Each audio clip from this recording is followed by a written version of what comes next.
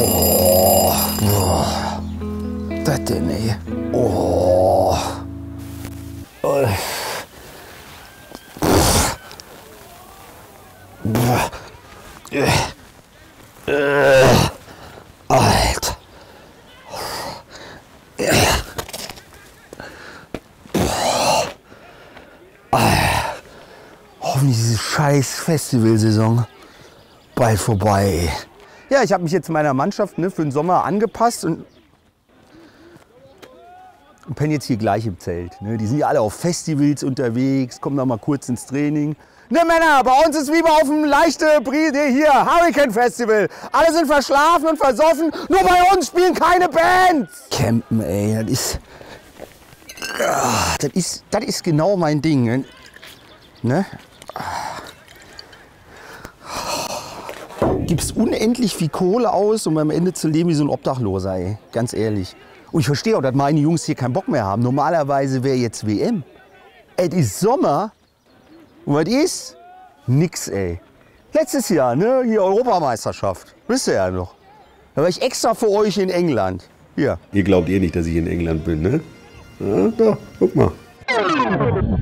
Ja, ein Traum ist wahr geworden. Ich bin endlich da, ey. In England. Hello, my name is Uwe. So, das ist der VIP-Bereich hier im Wembley-Stadion. Äh, Da geht es gleich los. Ich habe hier einen der besten Plätze. So, jetzt haben wir hier den einen äh, Teil, das ist äh, Stark Landungshörn. Ne, das ist äh, ganz bekannt, die Abkürzung dafür ist Wales. Mensch, Andi, ey, bei dir sehe ich das genau, ey. Da war doch noch nie ein Bock drauf. Ach, das war geil. Andi, bei dir zählt auch lieber zwei Promille als gar keine inneren Werte, ne? Stefan, so orientierungslos wie du auf dem Platz rumrennst, mach dir auf deine Karre doch hinten Aufkleber. Bitte nicht folgen, ich hab mich selbst verfahren. Ja, so ein Sommer ohne Fußball, das ist wie Eis essen statt Pilz trinken, ey. Das ist einfach sinnlos. Danke FIFA hier und Giovanni Corruptino. Ja, was? Das ist doch so. Der ist mit seiner kompletten Familie, ist ja nach Katar gezogen, macht er jetzt irgendwelche Fußballturniere mit Allstars. Alles natürlich total zufällig.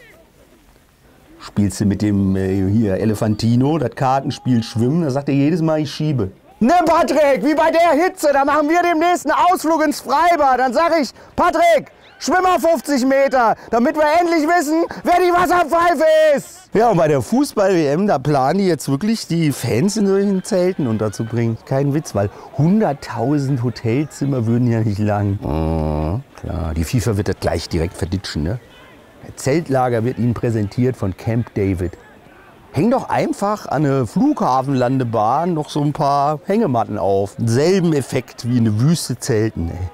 Ne Hermann, mit dir mache ich eine Fressbude zum WM-Zeltlager auf. Da kriegt jeder was Süßes, Klebriges, was zur Region passt. Ein Karamell. Ja, so richtig Luxus soll es ja in diesen WM-Zelten nicht geben. Gibt halt keine Klimaanlage. Brauchst du ja auch nicht. Nimm den dicken Schlafsack mit, das reicht auch. Im Fancamp gibt es dann gleich mal einen Auftritt ne, von den Scorpions. Ohne dass die Band spielt. Ganz ehrlich, wer kommt denn nicht auf die Idee, im Winter nach Katar zu fliegen, zu sagen, komm, wir zelten da ohne Klimaanlage und gucken uns dann Spiele bei der WM an, wo die Stadien runtergekühlt sind. Und ich sag, bist du eigentlich völlig döllig oder was? Stefan, dich brauchen wir auf jeden Fall in der Wüste. Du hast nämlich schon Wasser im Bein. Was die FIFA kann, das kann ich schon lange, ey. Ich werde das geschäftlich ausnutzen. Diesem Zeltlager, da war ich ein Getränkestand. Bier ist ja verboten. Muss halt so Korn-Mischgetränke machen, da kannst du eh besser pennen. Ne? Hier, Fanta Morgana zum Beispiel. Für alle englischen Fans kannst ja nicht Zeltlager über das Ding schreiben. Machst du Beduine. Ist gleich so ein Hostel-Feeling da drin. Und damit keiner vergisst, dass wir eine Vorweihnachtszeit sind, organisiere ich mir 14 Schlittenhunde, Weihnachtsmannkostüm, jeden Abend durchs Fancamp. Ho, ho, ho, hier ist jedenfalls gestreut.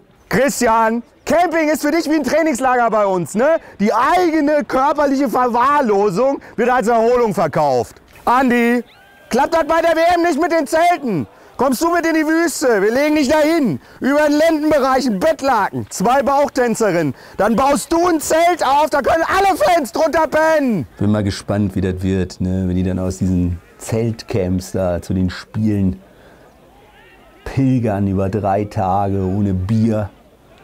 Und ohne Wasser, keine Ahnung, dann irgendwann total verdurstet am Stadion ankommen. Ach nee, das passiert ja nicht, weil es sind ja Pendelflüge, kein Witz, organisiert zwischen den Spielen. Und äh, weil es so wenig Hotels gibt, gibt es auch noch Kreuzfahrtschiffe, die an Land liegen, wo die Leute pennen können. Vielleicht wird bis dahin auch noch das 9-Euro-Ticket verlängert, dass man damit da auch noch hinreisen kann, dann wird es komplett nachhaltig. Naja, und ich glaube ja auch, ne, dass alle, die in diesen Zeltcamps pennen, unwissentlich so einen Wisch unterschrieben haben, dass sie noch ein bisschen in Katar bleiben müssen. Weil irgendjemand muss die Stadien ja wieder abbauen. Kevin! Boah, der ist so hohl, der hat nur einen Abschluss, äh, die allgemeine Urlaubsreife. Den Traktor, warten. Kommt der Hermann zum Training. Oh. Bei der Fußball-WM planen die jetzt wirklich die Fans hier in Zelten unterzubringen. Der Bulle bei der Besamung. Auch ein richtiges Scheißbild. Dann legen wir dich einfach in eine Wüste, über den Lendenbereich. Nochmal. Dann legen wir dich, ein, nochmal, über den Lendenbereich. Machen wir so eine schönen. Ach, warte mal. Ja, Das, ist, das Geilste ist immer dieses Auf- und Abbauen der.